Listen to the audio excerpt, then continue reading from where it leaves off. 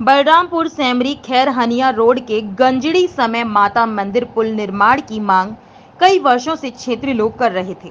बारिश के मौसम में करीब चार माह के लिए इस डीप पर शासन प्रशासन को नाव लगाना पड़ता था। क्षेत्र के लोगों को करीब दो दशक से इस पुल निर्माण के लिए संघर्ष करना पड़ा। वर्तमान समय में भाजपा सरकार में क्षेत्रीय लोगों की समस्याओं को देखते हुए तुलसीपुर विधायक कैलाश नाथ शुक्ल ने राज्य योजना सामान्य अंतर्गत एक लाख की लागत से पुल निर्माण की स्वीकृति दे दी है।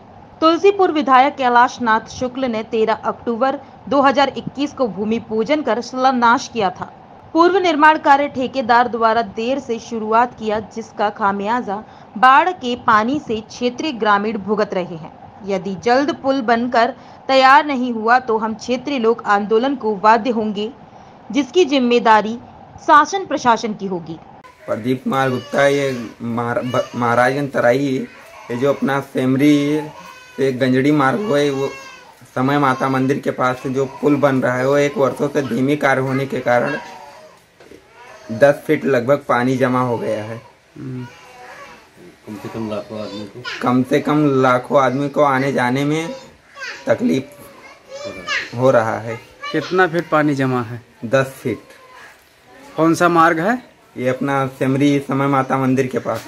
बलरामपुर ज़िले से महाराजगंज तराई और हमारे समरी मार्ग खरानिया के रोड पे समय माता मंदिर के पास कम से कम 10 फुट पानी जमा हो गया है और हमारे ग्राम वासियों को आने जाने में काफ़ी दुर्घटना व तकलीफ़ हो रहा है और यहाँ पुल बनाने के नाम पे ए, काम नहीं हो रहा है और पुल बनाने के नाम पे एक अपना ही टाइम पास कर रहे हैं। और हमारे ग्राम वासियों को आने जाने में इतना तकलीफ़ वह अभी कोई औरत गर्भवती अगर हो जाए तो उसे बलरामपुर ले जाने में बहुत ज़्यादा तकलीफ़ हो